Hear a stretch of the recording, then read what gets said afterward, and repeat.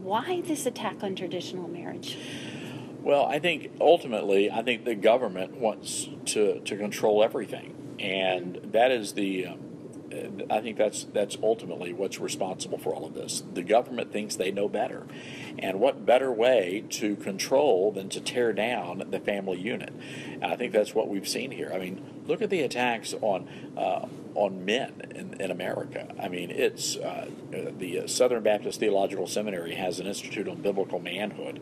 You know, this idea that uh, that, that, men are not allowed to be, you know, strong leaders. You know, it's I mean, men are under attack in the country. Uh, women are, are being told you don't, um, you know, you're a lesser of a person if you stay home and mm-hmm. and, and raise your children. You know, and and uh, and and take care of your home. You know that, that, there's something wrong with you. You deserve more than that.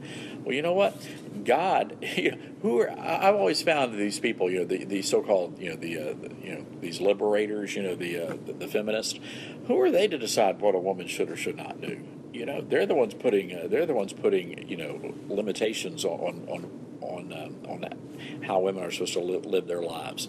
So I think that we again have seen systematically over the past several decades these attacks on traditional gender roles and responsibilities, and uh, the government is stepping in. That's why you have the government, Mrs. Obama, right now spending millions of our tax dollars trying to tell us what we should should and should not eat what responsibility is that of the federal government to determine if I want a cheeseburger or a Nutter Butter?